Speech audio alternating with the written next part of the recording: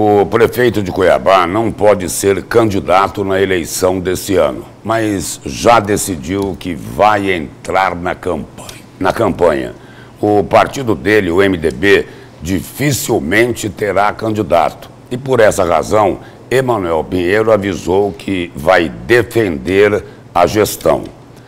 Ele anda bem irritado com as acusações que estão sendo feitas por aqueles que vão disputar a prefeitura da capital e anunciou que irá retomar as lives semanais na internet. O nível da campanha promete bastante. O fogo cruzado e a troca de farpas já é grande entre os concorrentes e vai aumentar ainda mais com esse novo protagonista.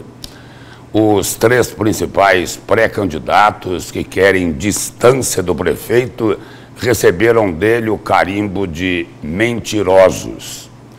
A primeira contraofensiva foi em relação ao deputado Lúdio Cabral, do PT, que acusou um rombo de 2 bilhões de reais no caixa da prefeitura.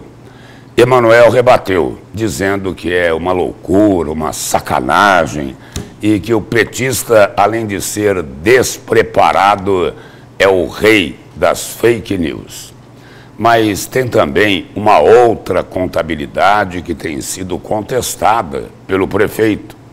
Ele nega o número recorde de 20 operações policiais na administração dele.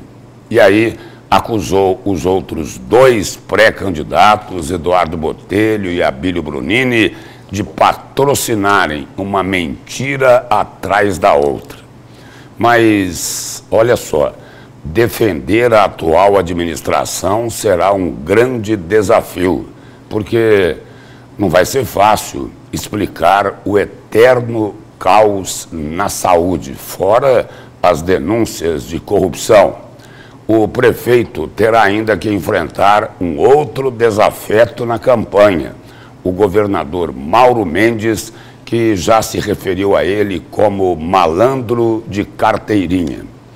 Na prática, ao anunciar que irá voltar com as lives nas redes sociais, Emanuel pretende ser uma espécie assim de comentarista do programa eleitoral por incrível que pareça, tem um aspecto positivo nisso tudo.